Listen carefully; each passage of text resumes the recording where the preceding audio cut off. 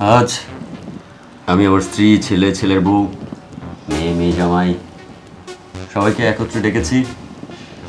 কারণ তোমাদের একটা সিদ্ধান্ত জানাতে চাই। আমি তোমাদের মাকে ডিভোর্স দিতে চাচ্ছি। কি বলছো তুমি? তোমার কি মাথা ঠিক আছে? তুমি এই বয়সে আমাকে ডিভোর্স দিবে? বাবা এটা তুমি কি বলছো?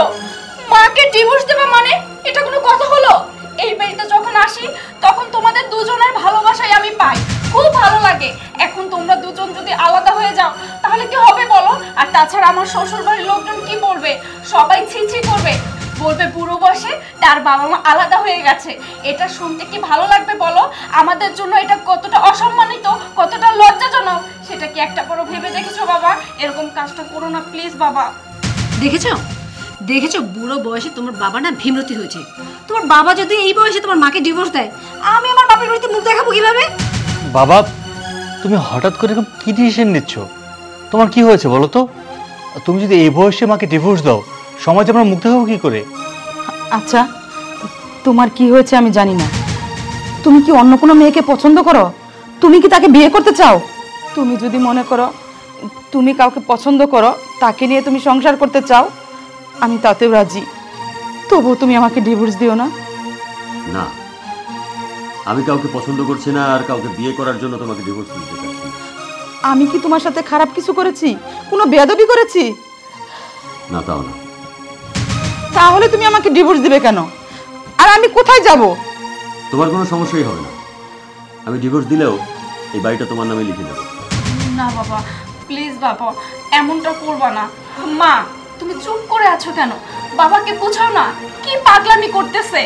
এভাবে তোমাদের দুজনকে আলাদা দেখতে পারব না। তোমাদের দুজনকে খুব ভালোবাসি। আমাদের স্কুলের সবাইকে কত গর্ব করে বলতাম, আমার বাবা মা কত সুন্দর, একসঙ্গে থাকে, মিলেমিশে থাকে। আর অথচ আজ এই বয়সে এসে তোমরা দুজনে ডিভোর্সের চিন্তা ভাবনা করতেছো? না বাবা, মা একটু বুঝাও না প্লিজ বুঝাও। তোমার বাবা আর মান সম্মান রাখবে না, বুঝতে পেরেছি। আমার মনে হয় কি আমাদের এই বাড়ি ছেড়ে চলেছে বাবা তুই মাকে ডিভোর্স দিতে পারবে না। কেন তুই মাকে ডিভোর্স দিবে বলো? তোর বাবার সাথে একদম উচ্চ গলায় কথা বলবি না। আপনার ছেলে ভুল কি করেছে? এই বুড়ো বয়সে আপনি যদি মাকে ডিভোর্স দেন আমরা মানুষের কাছে বা মুখ দেখাবো কীভাবে হ্যাঁ? আপনার একটু বুদ্ধি থাকা উচিত যে আপনার বয়স হয়েছে। এই বয়সে আপনার ছেলে মানুষই এখনও গেল না। ছি ছি ছি আমার ভাবতেও তো অবাক লাগছে।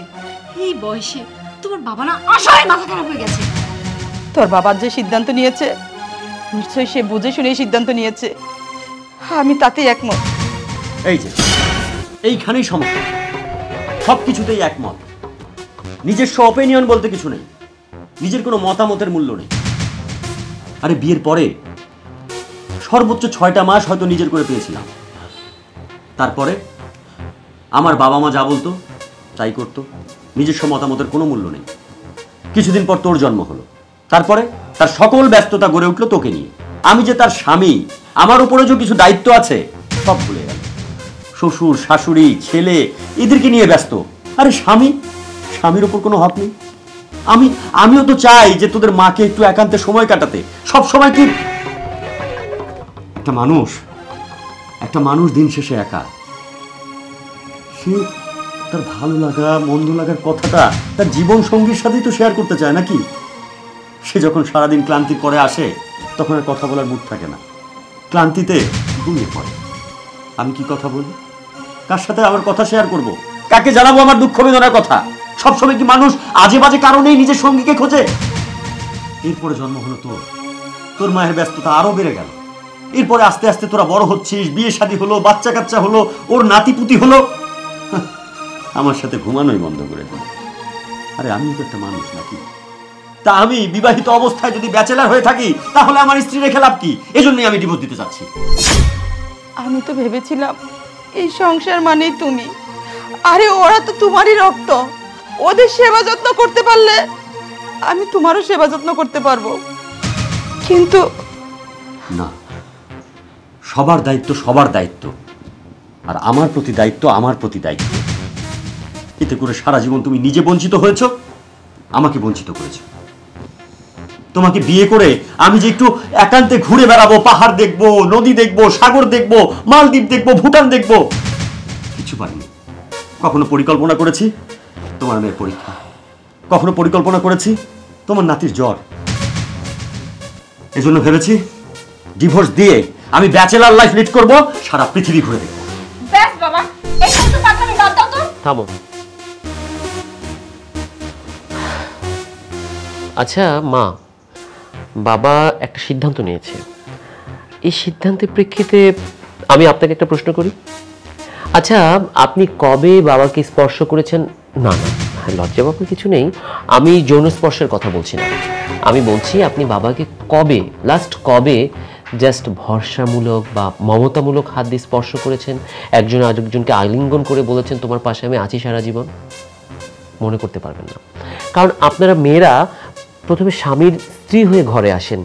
এরপরে মা হয়ে যান, কারও শাশুড়ি হয়ে যান, কারও দাদি হয়ে যান বা কারও নানি হয়ে যান, কারও পুত্রবধূ হয়ে যান, কিন্তু আপনি ভুলেই যান, আপনি ওই সংসারে কোনো একজনের স্ত্রী হয়ে এসেছেন। দিন শেষে আপনার স্বামীর কিন্তু আপনাকে প্রয়োজন হয়। সেই প্রয়োজনগুলো আপনারা ভুলে যান। পুরো ফ্যামিলির চাপে পড়ে, পুরো সংসারের চাপে পড়ে। আপনি ভুলে যান, এই সংসারের মূল কিন্তু আপনার স্বামী। আপনাদের ভালো লাগা, ভালোবাসাগুলো তখন বন্টন হয়ে যায়। সন্তানের মাঝে, তাদের সন্তানের মাঝে। কিন্তু আপনি ভুলে যান এই ব্যক্তিটার মানে আপনার হাজবেন্ডের কিছু চাহিদা থাকে। আচ্ছা কখনো বাবাকে নিয়ে ঘুরতে বেরিয়েছেন? কখনো পার্কে হেঁটেছেন? বা খুব সকালে দুজন একসাথে হেঁটেছেন? কখনো কি বাবাকে একটি নতুন কিছু গিফট করেছেন? করেননি। অথচ এই বাবাকে দেখুন, আমি প্রায়শই দেখেছি বাবা আপনার জন্য ফুল নিয়ে এসছে, বাবা আপনার জন্য গিফট নিয়ে এসছে। আপনি সেগুলো ছুঁয়ে পর্যন্ত দেখেননি। কারণ কি? কারণ সংসারের চাপে আপনি সংসারটাকে আপন করে নিয়েছেন, বাবাকে নয়। বাবা একটা কঠিন সিদ্ধান্ত নিয়েছে।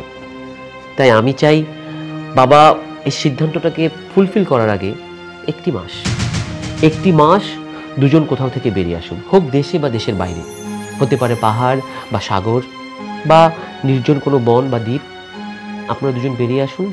আমার মনে হয় সমস্যাটার সমাধান হয়ে যাবে।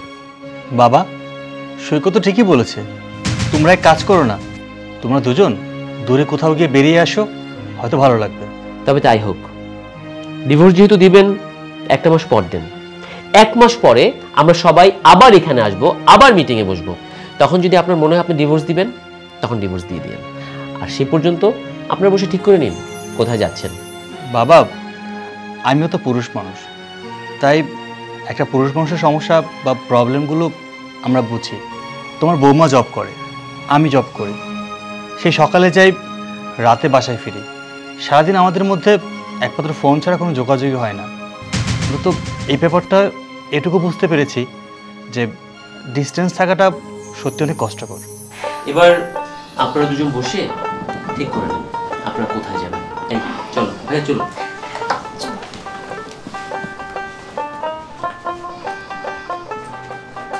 কি? সাগরই ভালো হবে? না চলো পাহাড়ে যাই। হ্যাঁ না। আমার কিন্তু সাগরে ভয় লাগে। আমার কিন্তু পাহাড়ে যেতে খুব ভালো লাগে। জীবনে প্রথম নিজে একটা মতামত দিত ঠিক আছে? পাহাড়েই যাব।